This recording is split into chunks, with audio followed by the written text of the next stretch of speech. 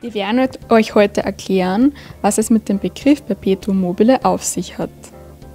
Schon viele Personen haben versucht, eine Maschine zu konstruieren, die mehr Energie liefert, als man ihr tatsächlich zuführt. Es soll sich also etwas stets bewegen, drehen etc., ohne dass dem System zus äh, zusätzlich Energie zugeführt wird. Nach dem ersten thermodynamischen Hauptgesetz, bei dem es um Energieerhaltung geht, also dass Energie nicht aus dem Nichts erzeugt werden kann oder gar zerstört werden kann, kann ein Perpetuum mobile erster Art nicht existieren. Das heißt eine Maschine, die aus dem Nichts Energie liefert. Dennoch haben wir eine scheinbar ewige Bewegung stets vor unseren Augen, und zwar die Bewegung der Himmelskörper.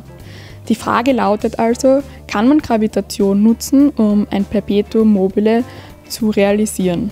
Erste Aufzeichnungen in Europa datieren zurück ins 13. Jahrhundert, wo man quasi ähm, diese Gewichtskraft ähm, der, äh, für die Verwendung von Perpetua mobile ausnutzen möchte.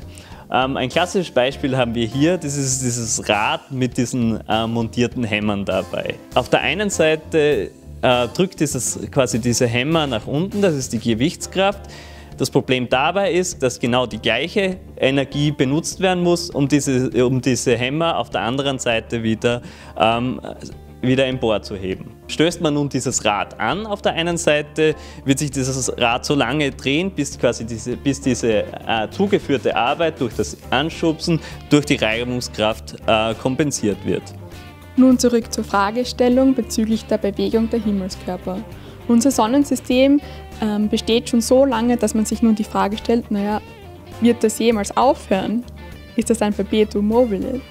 Und die Antwort ist nein. Auch unser Sonnensystem findet irgendwann sein Ende.